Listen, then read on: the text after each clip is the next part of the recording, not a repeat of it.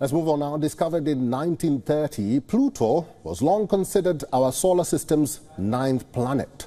But then in 2006, the International Astronomical Union categorized it as a dwarf planet due to its tiny size. Our next report tells you how there is now a call to restore Pluto to its original status as a bona fide planet.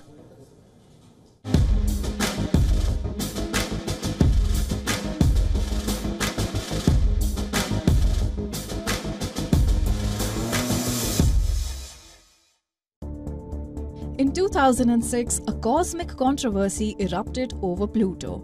Long regarded as the ninth planet, the International Astronomical Union or IAU unseated it from its status of planethood.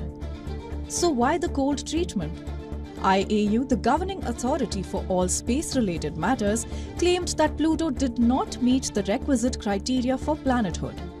For one, it lacked the gravitational dominance needed to control its orbital neighborhood, while sharing space with other icy objects in the Kuiper belt.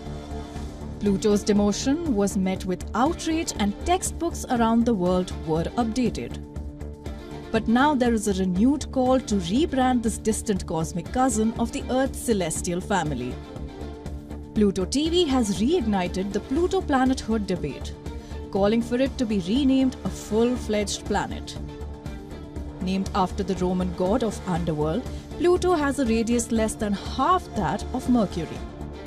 It is only two-thirds the size of Earth's moon and located 5.9 billion kilometers from the sun. However, dwarf planet or not, Pluto is far from being insignificant.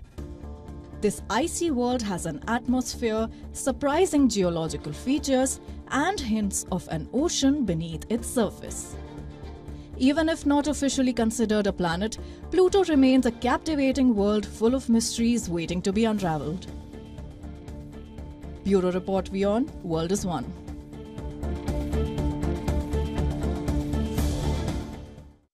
For all the latest news, download the WION app and subscribe to our YouTube channel.